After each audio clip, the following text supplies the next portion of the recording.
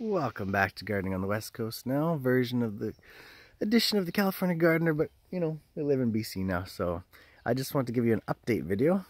I made a video last year about summer pruning those um, long whips that grow off your fruit trees, and this is one of the plum trees that I pruned back during the summer, and I've already given it a little quick uh, spring, spring pruning as well.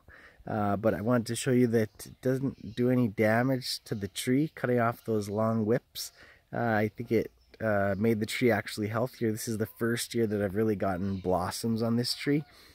It's about four years old now, and unfortunately we had to move it three times because when we built, I first had it in the front yard, we moved it uh, when they were going to put in a new septic system to the garden and then we finally transplanted it right here. So in four years it's been moved three times but it's still looking great and now it's got berries on it. So look I you can see where I cut off all those long uh, whips last uh, summer where they're growing off all of these tips. I had all these long whips growing.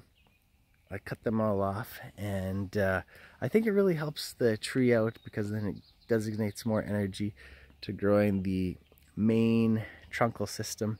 And you can see the tree has done really well. Put on a lot of blossoms this year. I'll show you one of the other trees that I did it to.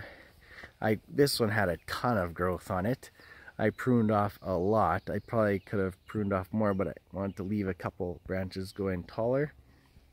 Uh, but it's got a bunch of blossoms on it as well this year. This one, it, it didn't ever have that many blossoms on it yet. Maybe it's still developing into a more mature tree.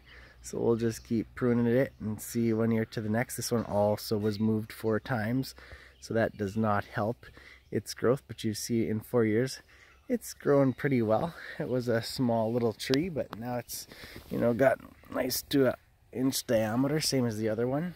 So I did have a couple places where I had uh, black uh, fungus growing on this and I had to prune it off. So that's why I have a short branch right here and I cut one branch off here because that branch had it. So you do have to watch your fruit trees in BC for different kinds kinds of uh, funguses and blights and cut them off when needed. But uh, otherwise, just regular maintained pruning seems to have worked for this tree.